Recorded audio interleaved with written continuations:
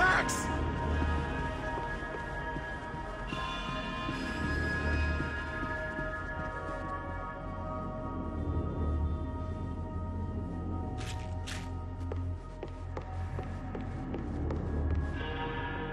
Come on, move. You're gonna be able to fix this or what? In a few minutes, eh? I should be able to reboot the system, get all the components back online. What about Branco's office? That's all I care about. You should be able to lock us down, eh? If this works. All right, whatever you're doing, do it quick. I'm gonna make a sweep of the building and then get back to Rodrigo's.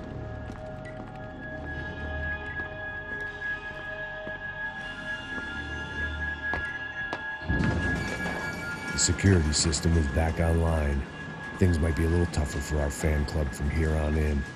Seemed like breaching the perimeter had been no more difficult than strolling through the front gates. But hey, who needs a Trojan horse when the alarm is down and your standing army is a dame, a dork, and a drunk? Branco's office overlooked the atrium. I could check in and make sure he hadn't checked out.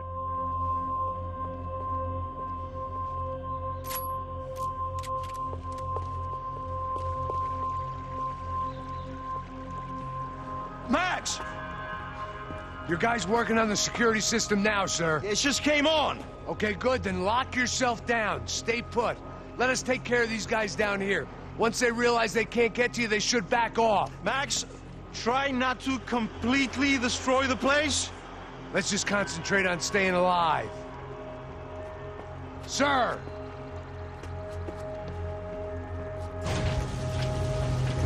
There it went.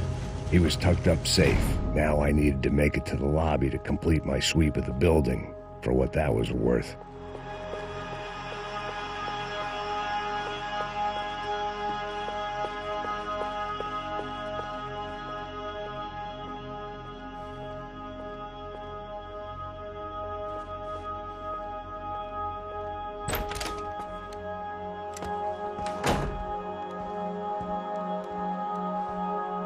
Poor girl was dead.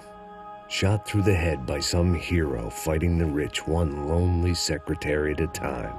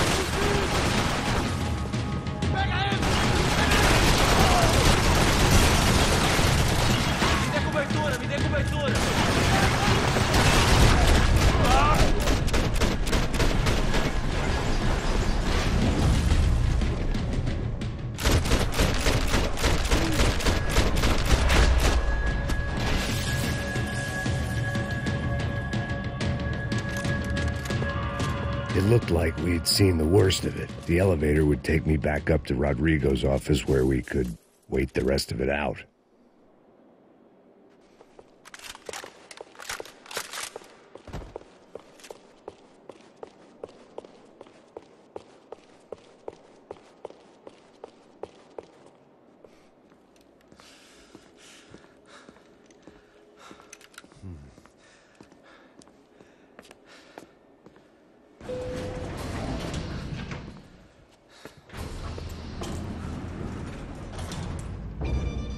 I didn't know what the hell I was going to find up there, but I sensed it wasn't going to be a stripper bursting out of a cake. Senor Branco! Senor Branco! I can't get through to him. Ever since the security door is triggered, he hasn't made a sound. Rodrigo, it's Max. Open up. Can you hear me?